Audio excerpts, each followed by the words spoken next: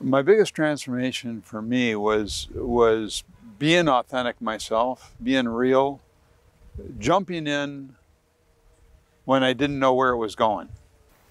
It was scary exciting. it felt more alive.